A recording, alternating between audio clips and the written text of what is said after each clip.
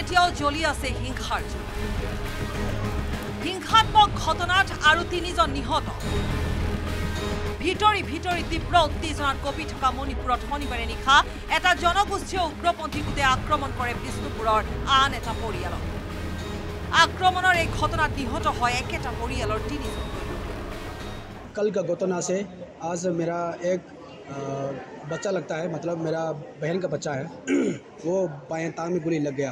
कैसे लग गया? ऐसे हम तो घर नहीं हैं जला चुका है कुकी लोग ने। उसके बाद हम दिल्ली पे रहते हैं और हमारा बेटे बुलंद तैयार में रहते हैं। इसलिए कल कल रात तीन बजे कुकी लोग ने आके एक हमारा कोकता में हमारा एक दो घर है और हमारा मुस्लिम के बीच में हमारा घर रहता है हम, हमारा लोग का। उसमें कल रात को तीन बजे लगभग इसी समय तीनों को मार दिया। ঘটনাৰ স্থান বিষ্ণুপুৰ জিলাৰ কাকটাৰ আঠ নং ৱাৰ্ড উগ্ৰপন্থীৰ এটা দল চুৰাচান্দপুৰৰ দিশৰ পৰা আহি প্ৰৱেশ কৰে বিষ্ণুপুৰ জিলাত। মাজতে পহৰাৰত আছিল আছাম ৰাইফলছ। কিন্তু আছাম ৰাইফলছৰ পহৰা পাৰ হৈ উগ্ৰপন্থীৰ দলটো প্ৰৱেশ কৰে বিষ্ণুপুৰ জিলাত। জিলাখনৰ কাকটাৰ আঠ নং ৱাৰ্ডত প্ৰৱেশ কৰি দলটোৱে এটা পৰিয়ালত নিৰ্বিচাৰে গুলীবৰ্ষণ কৰে।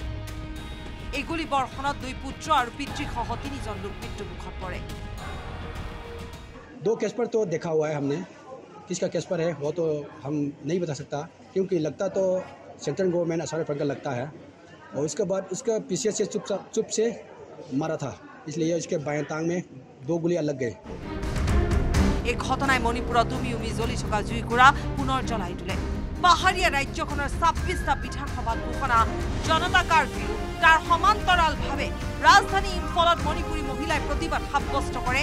ৰাজপথত টায়াৰ জ্বলাই গাড়ী চেক কৰি প্ৰতিবাদী মহিলাই ধ্বনি দিয়ে মণিপুৰ দীৰ্ঘজীৱী হওক লগতে শ্লোগান দিয়ে গ' বেক ইমিগ্ৰেণ্ট কুকি গ' বেক আছাম ৰাইফলছ তাৰ বিপৰীতে এই দৃশ্য কুকি মহিলাই ভৰিত ধৰি কান্দি কান্দি আছাম ৰাইফলছক কাটৰ আহ্বান জনাইছে এৰি নাযাব। শনিবাৰে দিনৰ ভাগতো উগ্ৰপন্থীৰ গুলীচালনাৰ শব্দ শুনা যায়। পূব ইম্ফলৰ চানাচাবি আৰু থমনাকপি জিলাত এই ঘটনা সংঘটিত হৈছে। এই ঘটনাৰ পিছতে কাৰফিউ শিথিলৰ সময় পুৱা পাঁচ বজাৰ পৰা পুৱা চাৰে দহ বজালৈ কমাই দিয়া হৈছে। তিনিমাহ পাৰ। মণিপুৰত হিংসাৰ জুই নুমোৱাৰ নাম লোৱা নাই। ন্যস্ত স্বাৰ্থজড়িত পক্ষসমূহে মাথো এই জুইত নিজৰ নিজৰ গুটি সেকি আছে। আও মৰণে মৰিছে মাথো নিৰীহ ৰাইজ।